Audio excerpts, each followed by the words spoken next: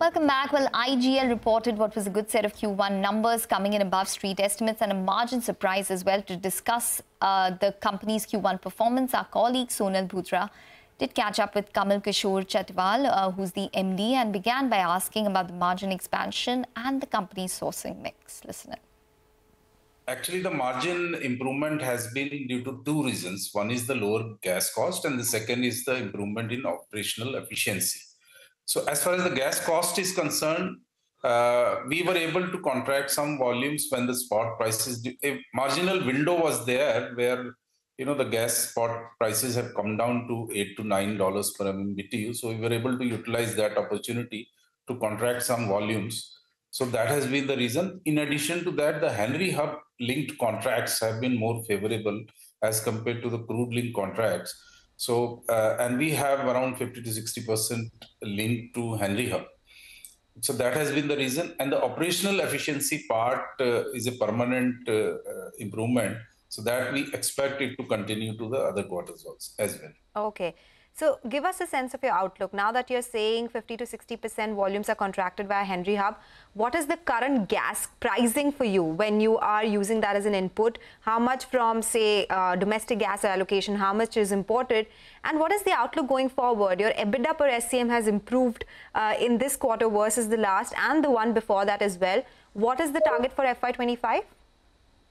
You see, the, our guidance has always been that 7 to 8 uh, EBITDA uh, per SCM of 7 to 8 rupees. So we were able to maintain that. Uh, last quarter, we were at 6.58. And despite the uh, price cut of 2.5 uh, rupees per kg, we were able to maintain around 7.6. So that is uh, one thing that we will be able to maintain because in the last end of the quarter, uh, in June last week, we were we increased the prices uh, again by one rupee just due to the cut in APM allocation. So APM currently is at 62%, 38% is RLNG, and we expect APM to remain in this range only 60 to 62%. Maybe if one or two plants shut down, then uh, we see slight increase and then again come back to these levels. So 60 to 62% uh, would be the range that we expect for the entire year and uh, 38 to 40 percent would be uh, uh, contracted. And since our volume are significant, I mean the RLNG volumes is significant now, so we have some flexibility that we can rather than depending on some big players. So we can ourselves contract some volumes. Okay, that is so good to know. Working towards that. Okay. So let's talk about volumes. Take it forward. 8.564 uh, MMSCMD in this quarter. You had earlier indicated that FY25 exit run rate could be nine and a half. Is that something that you'll be able to achieve? There have been a lot of new avenues, right? Bajaj Auto launching that new CNG bike. I know largely it's in Maharashtra right now. But do you think there are segments where you can see growth opportunities and reach your uh, targeted mark? Yes, that is one very significant positive for us that the, uh, the uh, two-wheeler that was one segment where CNG vehicles were not there. And CNG market is, uh, I mean, if you look at the big players, it is around 25 to 30 years old. And two wheeler was still uh, something that was uh, not there. Uh, CNG vehicles were not there. Now, with the launch of Bajaj, and uh, we see the numbers that's around 30,000 in, say, 20, 25 days. And uh, it is being launched in Delhi market in end of July. And maybe the deliveries in under two weeks.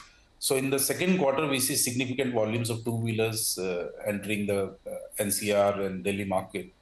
And since this is the biggest market for two-wheeler, so we expect around 30%, uh, 25 to 30% uh, sales volume to come from here. And if we look at the target of uh, Bajaj and the other two-wheelers, I think TVS has also announced that they are bringing out a CNG variant. And uh, so we expect significant volumes going forward to come from two-wheeler segment. Hmm. Given the fact that uh, in NCR there is a lot of commute and people say, for example, Greater Noida to Delhi, and everyday commute is more, and uh, the price uh, that uh, advantage that it gives, economic advantage one rupee per kilometer as compared to two two and a half hmm. rupees uh, petrol. That's a significant for uh, you know middle class, lower middle class, or the two-wheeler segment. So that we expect that it will be able to compete even with electric. So nine and a half MMSCMD, is that the target that remains for volumes in FY25? Yes, that remains. And uh, because uh, the industrial and commercial segment, we are in discussion with a few players and uh, because they are big volumes and uh, we expect them to conclude in the second quarter. And we are doing some uh, price tweaking also to make it competitive. So those volumes will come up. In addition to that, one more fact I want to share is that uh, outside Delhi, you know, Delhi, there is a pressure of DTC bulk volumes going off roads, and we are still absorbing that impact. So whatever increase is there in the passenger vehicle segment, so that is absorbing the loss of DTC. But outside of Delhi, we look at the GS, the CNG market is growing at around 22%, and overall CNG PNG market is growing at around 16%.